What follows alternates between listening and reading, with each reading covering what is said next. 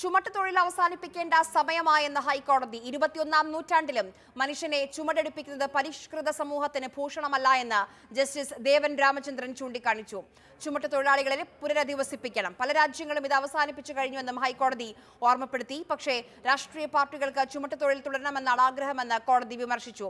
ഏതെങ്കിലും രാഷ്ട്രീയ പാർട്ടിയിൽ ചേർന്നാൽ ആർക്കും ചുമട്ടുതൊഴിലാളിയാകാമെന്ന അവസ്ഥയാണുള്ളത്. അടിപിടിയും ഗുണ്ടായിസവും നടത്തലല്ല ചുമട്ടുതൊഴിലെന്നും ഹൈക്കോടതി ചൂണ്ടിക്കാണിച്ചു.